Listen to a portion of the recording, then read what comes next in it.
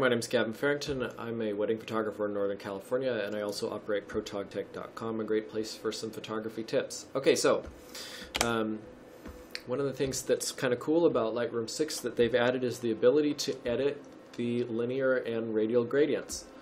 Um, so as soon as Lightroom gets its act together and loads this image in, and we'll have to forgive it because you can see this image is 29,000 pixels on the long edge, so it does take it a little bit to load that up. Um, Something that you might commonly find yourself doing is adding a little bit of punch to the skies. So you put in a linear, um, this uh, I call it a linear graduated filter, but hey, they're they you know whatever.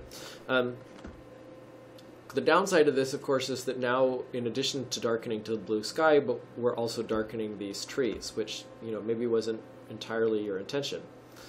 That's fine because you see here you've previously you had new and edit, now we have the addition of this brush tab. We can also hit Shift T to enable that, and what that does is it gives us a brush where we can brush right onto that uh, that graduated filter effect.